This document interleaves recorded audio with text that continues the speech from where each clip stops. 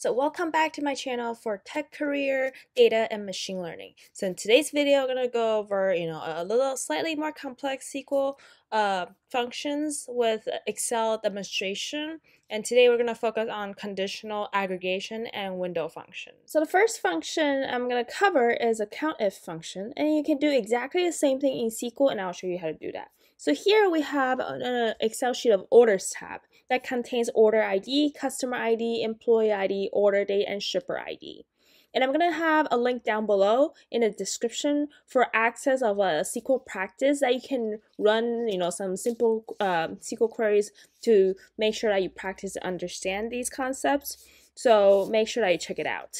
Um, so here we see that we're count if the B column, which is our customer ID, and if it's greater than uh, greater than or equal to 70. So we're essentially counting all the customer IDs that meets the criteria of greater than 70. And we can see the result is 8 here.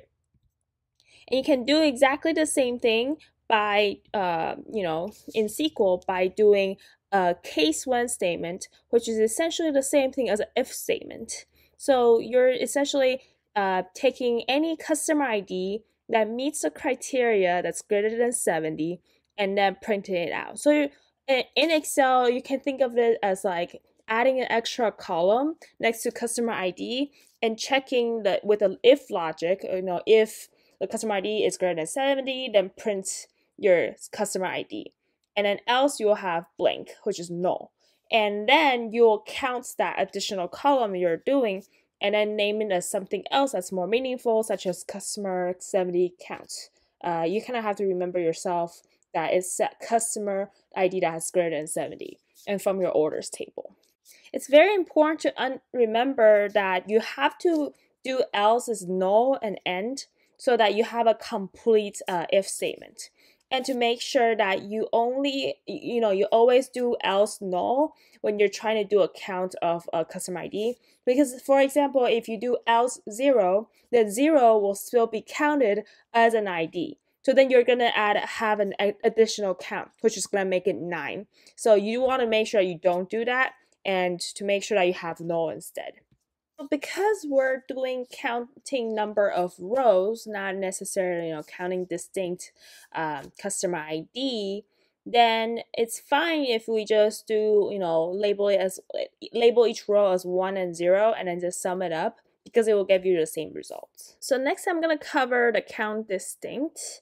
Um, but in this situation that we're changing the filter to greater than 50 and then you can you know and then based on reading your customer ID you might want to just uh, looking at distinct uh, customer IDs that you have instead of instead of double counting like the 65, right? So you can do the same thing by count distinct and with the same case statement of customer ID greater than zero, then customer ID else null. Make sure that you put null for the else. So it's like other everything else will be blank, not zero, because zero will be counted as one of the customer ID. So make sure you don't do that.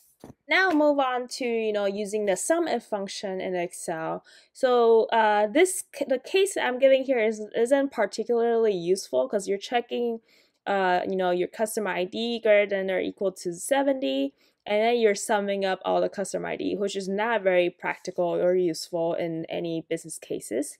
So uh, the more realistic case will be, you know, having a case when still checking the same condition, uh, or you know other conditions that you have, then have uh, then the order count. So in this case, order count will be the number of orders that uh, a customer purchased, and then else zero. So because we're doing a sum if, then having a zero is perfectly fine. Or you can do also null, which will give you the same results. Um, so when you do sum case when of your criteria, then the column that you're interested in summing, uh, summing up uh, else zero or null end and from the table. So this way you can get, you know, your sum if function based on a criteria and then get your sum. Before jumping into a window function, please make sure to subscribe to learn more about data, tech career, and machine learning. And also leave a comment below about why you're interested in learning SQL. And also please like the video if you're you think that this is good content. So now we're gonna go over the window function. Uh, I know that window function sounds kind of complicated, so I'm going to show it, you know, demonstrate in Excel first to let you understand why would we even use the window function. So for me, I think the most commonly used uh, way of using window function is that you're trying to figure out, you know, for each, for a particular person, what's the gap or how many days does it take between their you know or like between their order dates or like how many like for for example in this case i'm talking about for employee id i want to know you know how long does it take an employee to handle each order so that's why you want to you know you want to know the current order date and then also the next order date so that you can do a date diff function to uh, subtract you know to know the, the number of days between the two dates and that's very useful in SQL. So how would you be able to, you know, create an extra column E called next order date uh, based on your existing order date uh, column D? So that's the part I we're focusing on. And how would you be able to do that? You'll be able to write a lead function. So you, lead is essentially taking the next row for the current row, right? So you do lead order date, parentheses order date, and over partition by employee ID. And the reason why you're doing that is that because you want to make sure that you only capture the uh, next date based on uh, different employees because that you don't want to uh, get the next order date for all the employees then it's not really you know the time difference between uh, for one order to the other order for each employee right and you're gonna do order by order date uh, ascending order so you will do ascending order because you're trying to uh, sort your order date and then take the next date that's for this employee ID and what it is. And then so for any order date that doesn't have the following order date will be showing null in your result. So just keep that in mind. The opposite of taking, you know, the next row of your current column, which is the lead window function, uh, it will be the you know opposite of that will be the lag window function, which is taking the previous row of the current row from your column. So you can do that by lag, order date, or over partition by, employee ID, order by, order date, ascending order. So you need to make sure that you do ascending order for lag um, because then otherwise like if you do descending order and lag which will be essentially the same thing as lead window function with order date uh, ascending. So you want to make sure that you're not you know doing the same thing twice otherwise it's, it's window function is a pretty cost costly function so you want to make sure you don't do that so the next one i'm going to cover is how do you have you know have a column of row number based on a sort sorting a specific column. For example, here I'm sorting from the oldest to newest for the order date and then adding a row number for uh, each row based on you know the sorting. So it's very useful in this case when you want to know you know the fifth place of uh, what's the fifth uh, fifth oldest uh, order that was purchased or in business cases that it's very useful when you want to instead of knowing you know who made the most like what's the highest uh, dollar amount purchase for each order you might want to look at you know maybe the third place which is a very common interview question that a lot of people ask for a row number window function which is in this use case for you know instead of looking at the first place I want to look at the third place or fifth place or tenth place, and you will be able to accomplish that by using a row number. And that's the row number that we added to column F. And how would you be able to do that? It would be you know row number over. So because that we're not adding a row number for a particular uh, you know customer or employee, so we don't need to do a partition by. But for example, if you want to know, you know, uh, the second order for each customer, then you will have to add partition by.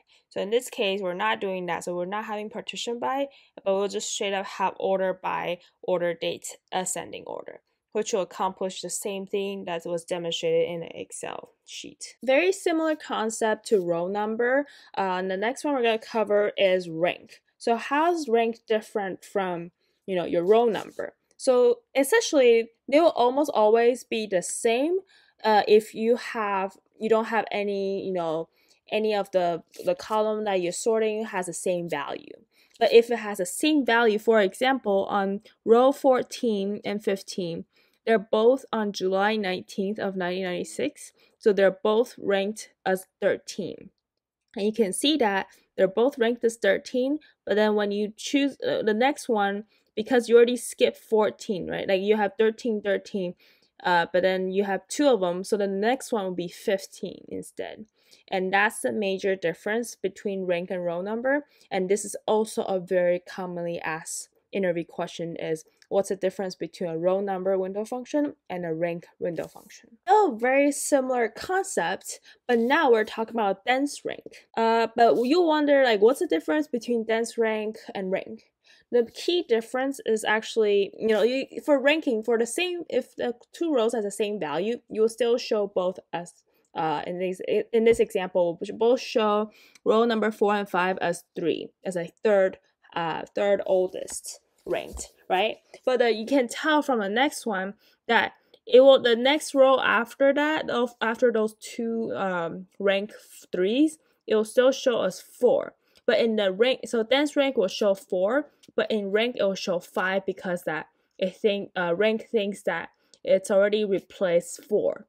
So then it will not show four anymore because you have two over three. But in dense rank, it will still show next one as four. So it depends on your situation, your use cases that you may, might want to use dense rank instead of rank. So quickly cover what I have talked about today. We talked about conditional aggregation, which includes you know the count if function, which is using count case when your criteria, then your customer ID, else null and and then that's how you'll do the count if and then also you had a sum if so you can do uh sum uh parentheses, case when, and then have your criteria and then summation of a different column. So it's really cool.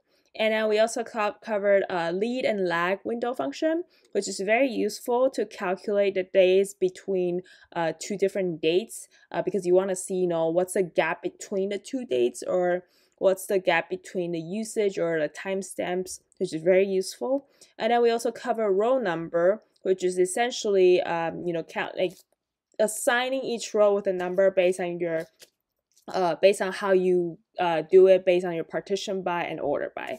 And then we also talk about rank and dense rank, which then rank and dense rank will show you uh, if two rows shows the same value, then they'll both ranked at the same with the same uh, rank.